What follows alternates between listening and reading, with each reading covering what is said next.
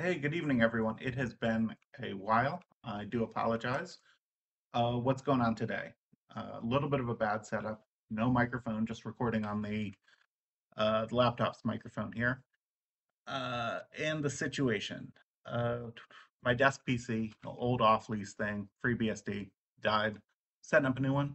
Why don't we look at uh, NetBSD 10.1 and uh, get a chance to try out a little USB capture. So let's get into it. Um, this is going to be NetBSD 10.1 off of a USB image for the install. So let's hope the, hey, it looks like the video capture is doing its thing. We're going to boot the installer. And see. So NetBSD is really cool. We're going to do some some other stuff with it. This one hopefully should be really quick um, just to do the install, um, run through it, uh, get a booted system. Then I can get a video capture on the system uh, rather than having to do this with the capture. Uh, and we can actually get some software up and running and then do some other cool stuff. Uh, maybe some virtualization, some other things. Uh, we're gonna no change in uh, my keyboard set will install to a hard disk. Um, the disk in here, we have a, well, a half terabyte NVMe.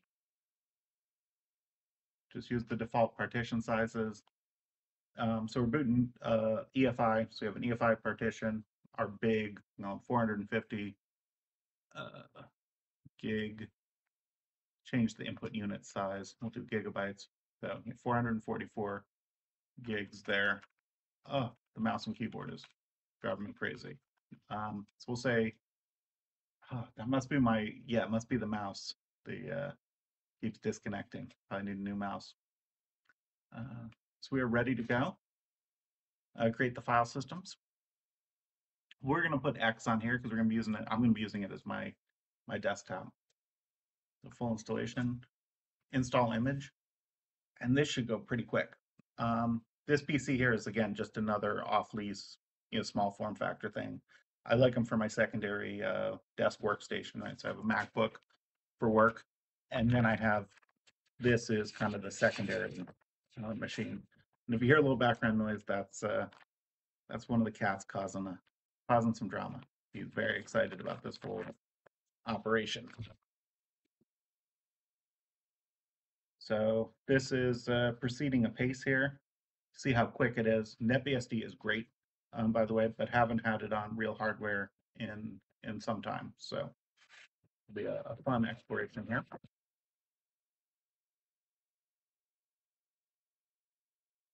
Get a root password.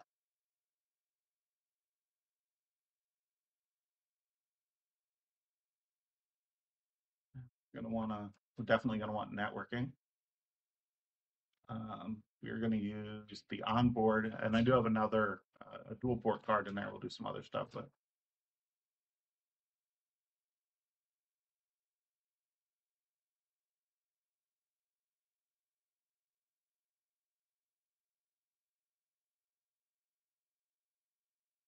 give it a host name.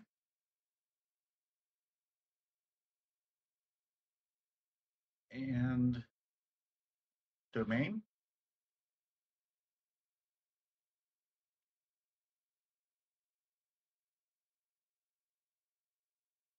And we are going to be in central time here. So Chicago. We are definitely going to want package in. Um, for the binary packages. We're also going to have package source. So this is one of the advantages I find for NetBSD is that it uses package source, which is uh, can be used across on Linux. Um, on the Illumos side, uh, package source is, is common as well. So we got that. So we're going to want package source as well. This may take a minute because it's got to download the uh, the whole package here. Um, so one of the things I wanted to play around with is NetBSD, which I've you know obviously use it as a, a VM image, but I want to take a look at it as a hypervisor um, because it now, I think, since what NetBSD 9 has NVMM, so it has its own, uh, you know, virtualization setup, its own hypervisor, which I think will be uh, fun to play with.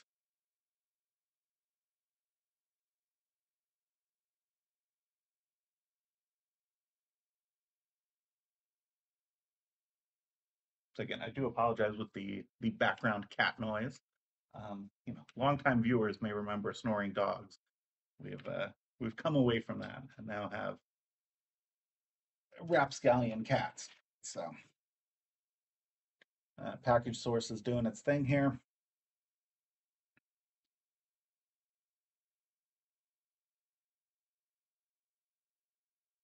Yeah, we want SSHD. We don't need NTPD. We do want to sync time on boot. Yeah, let's do XDM. Oh, this mouse, I need to get a new mouse. Um, let's add a user. My video demo. Yeah, I want to be added in wheel. Uh, gonna stick to the regular shell.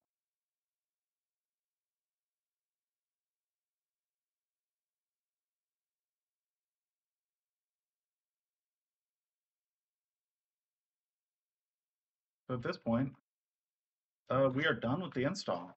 Uh, we're going to reboot here and see how things go.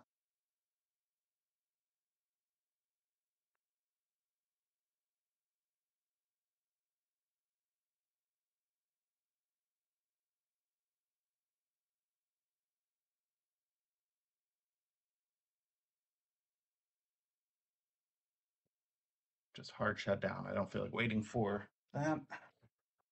Unplug the USB.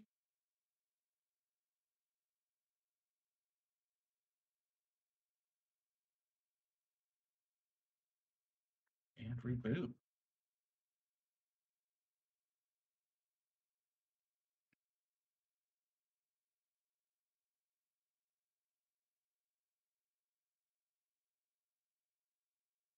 Uh, Bringing up the network. This is fast. So one of the, the big advantage NetBSD has what? A few big advantages. Package source, so shared with Linux and Illumos. Um, it's small, but it's also really portable, so we can do NetBSD across so many platforms. And hey, we're up with a with the display manager here. And we get a beautiful, what is this?